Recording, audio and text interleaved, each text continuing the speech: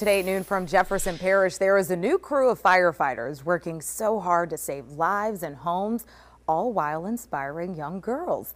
WDSU's Lee Southwick joins us from JP. And Lee, this is incredible. Tell us about this group of women.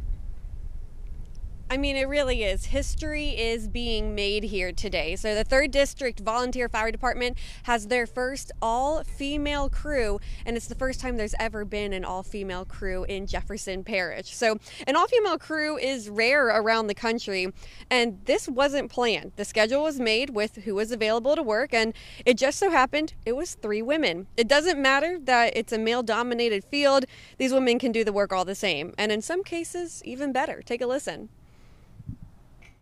We all, uh, we some people have their their specialties and their weaknesses. I mean, the men have their weaknesses, as in tight spaces. I'm little, I'll go in those tight spaces. I certainly will never be as strong as a man with me, but I use my body in different ways. I've learned to overcome certain difficulties that I would otherwise have to try and step up to be where the men are. I mean, I've done, I did the same training as they did.